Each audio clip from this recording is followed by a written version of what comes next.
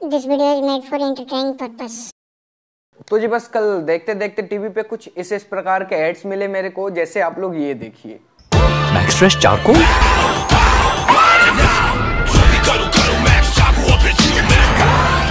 सिर्फ़ फ्रेश नहीं Max Fresh अच्छा मैं मैंने मान लिया। हाँ हाँ मैंने सुन लिया सुन लिया मैंने कि चारकोल वाला वो कोलगेट का पेस्ट यूज़ करने से शक्ति आ जाती है। सच्चाई ये है कि वो कोलगेट का पेस्ट यूज़ करने से नहीं आती है शक्ति एड को सूट करने के वक्त वो बीड़ी वीड़ी मार के और वो ड्रग्स लेके जब लोग ऐड बनाते हैं ना, तब शक्ति आती है, तब वो उड़ उड़ के ऐड बनते हैं ऐसे। अरे नू बताओ यार, मैं भी रोज वो कोलगेट के पेस्ट ही धोता हूँ। उससे क्या मेरा पेस्ट लाल है और तुम्हारा काला है तो क्या तुम्हें ज़्यादा शक्ति आ जाएगी? आजकल काली शक्ति ज़्यादा आगे बढ़ रही है। काली शक्ति कभी भी किसी भी चीज़ में देख रहे ना, काली शक्ति बहुत ही बलशाली होती है। जैसे बालवीर किन किन बच्चों ने देखा है। अगर बच्चे मेरा कंटेंट देख रहे हैं तो। वो बालवीर में थी ना एक विनायक परी। वो बेचारी कभी कभी हारती थी बालवीर से नहीं तो ज़्यादातर वक्त वो जीत ही जाती थी। तो कुछ इसी प्रकार के टीवी एड्स बनाए जा रहे हैं, जिसमें जैसे ये हो गया डाबर आमला का तेल।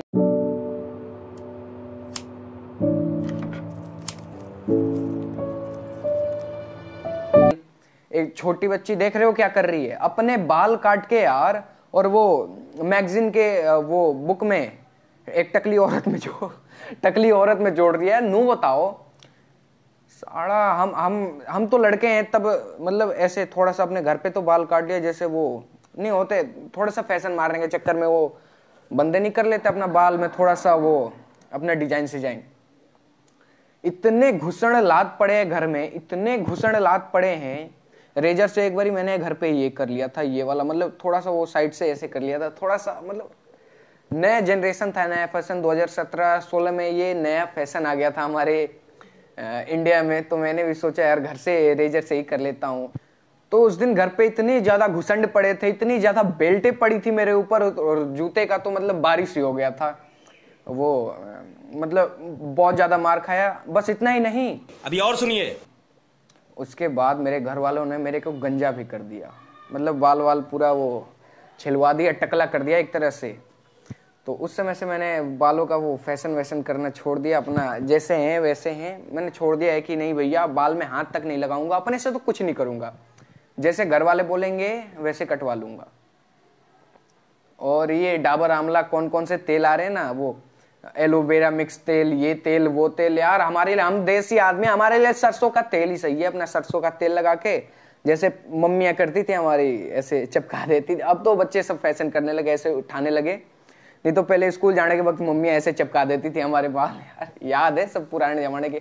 पुराने क्या आज से पाँच साल छह साल पहले की बात। लंबे और मज़बूत बाल चाहिए तो आमला तेल लगाइए पर क्या कोई भी आमला तेल?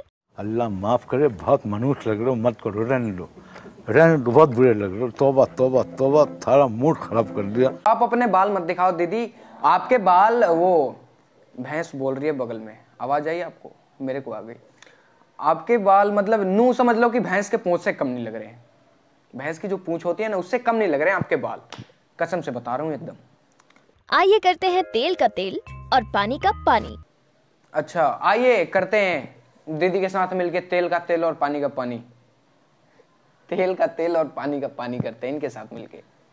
आमला है आम आमला तेल से ज़्यादा गाढ़ा और इसीलिए इसकी हर बूंद बालों में आसानी से अब्सॉर्ब हो जाए और उन्हें बनाए मज़बूत लंबे अच्छा मैंने मैंने मैंने देख लिया एक आपका तेल मोटा है एक पतला है हाँ। और उसके बाद? अच्छा बाल में भी चला गया अच्छा बाल इसने प्लेन भी कर दिया। यार अपने ब्रांड का एक तरह से गिराते हैं अपने ब्रांड को उठाते गिराते ये क्या डावर आमने देखो अगर बिज़नेस करना डावर आमने वाले से सीखो। एक तेल बना के पहले लॉन्च कर देंगे उसके बाद उससे थोड़ा सा इंप्रूव करके थोड़ा सा मोटा मोटा चिपचपा सा तेल बनाएँगे। अब जैसे बनाया यार हम लड़के थोड़े ही उतना ज़्यादा देखते हैं। बना के उसी को गिराएँगे। पापा बैग पापा मेरा। गुड जॉब इतनी स्ट्रॉन्ग नू बताओ दस साल की बच्ची ने पैक ठा लिया तो मतलब इतनी स्ट्रांग हो गई? अरे दीदी तुम्हें अभी पता नहीं है। हम लोग बचपन में पंद्रह पंद्रह किलो का बैग पीठ पे लेके इतनी इतनी दूर पैदल पढ़ने जाते थे। मतलब यार, क्या कुछ भी कुछ भी दिखा देते हैं।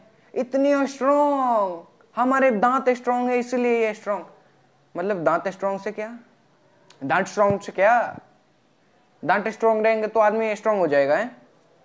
मेरे दांत स्टील के हैं।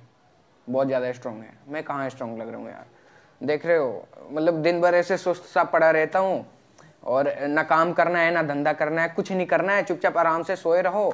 ऐसा लगता है कि सर दिनों में आराम से सोए रहो।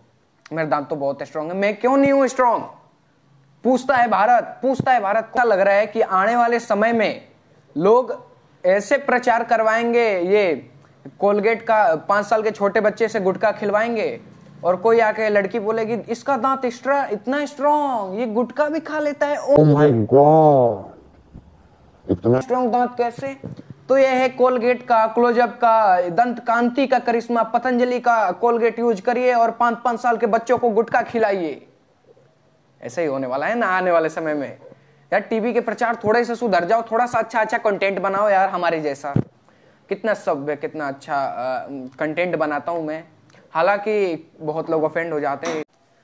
तो इस वाले वीडियो में तो लोग समझ रहे होंगे, यार, इसमें ऑफेंड होने की कोई बात ही नहीं थी तो कोई बात नहीं। जो लोग चैनल पे नए चैनल को सब्सक्राइब कर लें एंड बेल आइकन को प्रेस कर लें। तब तक के लिए, जय हिंद, जय भारत। रूपाली, पकड़ मेरी डाली। ए रूपाली, बनो तुझे रानी।